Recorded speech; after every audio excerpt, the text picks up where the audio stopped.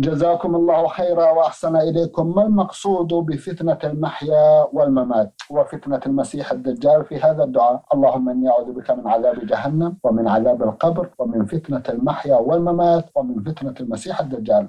ومن هم الذين سيتعرضون لتلك الفتن؟ وهل الدعاء بها في الصلاة سنة؟ وفي أي موضع من الصلاة يكون ذلك؟ أفيدونا. جزاكم الله خيرا. قال النبي صلى الله عليه وسلم في الحديث الصحيح استعيذوا بالله من من عذاب القبر ومن فتنة المحيا والممات ومن فتنة المسيح الدجال. فيستحب الدعاء بهذه الدعوات النبوية التي أوصى بها النبي صلى الله عليه وسلم ويكون ذلك في التشهد الأخير بعد الصلاة على النبي صلى الله عليه وسلم وقبل السلام. هذا هو موضعه. والمراد بفتنة المحيا الفتنة التي يتعرض لها الإنسان في حياته. فإن الإنسان ما دام على قيد الحياة فإنه معرض للفتن. الفتن المضلة التي تصده عن سبيل الله وقد تخرجه من دينه قد تنقص عليه دينه أو تشوش عليه دينه فهو معرض للفتن. فتن الشهوات وفتن الشبهات والعياذ بالله. وهي أشد. فلا عاصم للمسلم من هذه الفتن إلا باللجوء إلى الله سبحانه وتعالى وذلك بأن يكرر هذا الدعاء في كل صلاة.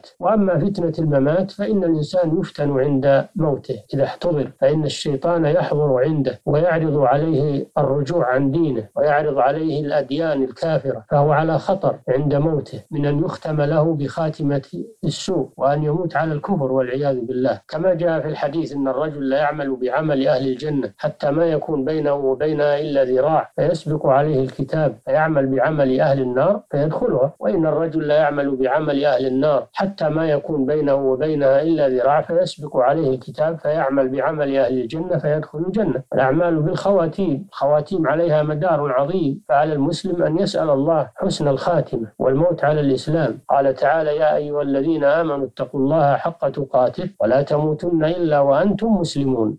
هذه هي فتنة الممات والله أعلم نعم. جزاكم الله خيرا وأحسن إليكم. يسأل ويدخل, ويدخل في فتنة الممات أيضا فتنة القبر. وأن الإنسان إذا وضع في قبره أتاه ملكان فيجلسانه وتعاد روحه في جسده فيقولان له من ربك وما دينك ومن نبيك فأما المؤمن فيقول ربي الله وديني الإسلام ونبي محمد صلى الله عليه وسلم. فينادي مناد أن صدق عبدي فأفرشوه من الجنة وافتحوا له بابا إلى الجنة ويوسع عليه في قبره مد بصره فيأتيه من روح الجنة وريحها وينظر إلى منازله في الجنة فيقول يا ربي أقم الساعة حتى أرجع إلى أهلي ومالي. وأما المنافق والمرتاب فيقول ها ها لا أدري. سمعت الناس شيئا يقولون شيء سمعت الناس يقولون شيئا فقلته فيقال لا دريت ولا تل ولا تليت وينادي مناد أن كذب عبدي فأفرشوه من النار. وافتحوا له بابا إلى النار. ويضيق عليه في قبره حتى تختلف أضلاعه. ويأتيه من سموم النار ومن عذابها. فيقول يا رب لا تقم الساعة. فهذا أيضا والله أعلم يدخل أيضا في فتنة الممات. نعم. جزاكم الله خيرا وأحسن إليكم. يسأل شيخ صالح لو تكرمتم من هم الذين سيتعرضون لتلك الفتن؟ كل كل معرض إلى هذه الفتن كل معرض إلى فتنة الحياة المحيا والممات إلا من رحم الله سبحانه وتعالى. نعم. جزاكم الله خيرا. في أي موضع ندعو بهذا الدعاء في الصلاة؟ قلنا إنه في التشهد الأخير بعد الصلاة على النبي صلى الله عليه وسلم وقبل السلام.